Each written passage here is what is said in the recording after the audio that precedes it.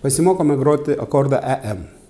Akordas EM labai panašus į E akordą, kaip E akordas prisimena tik tai be pirmo piršto. Pasilieka antram skirsnį penkta styga ir ketvirta. Vėlgi priklausomai nuo situacijos jūs galit groti antrų, trečių pirštų arba pirmų ir antrų. Kaip jums patogiau.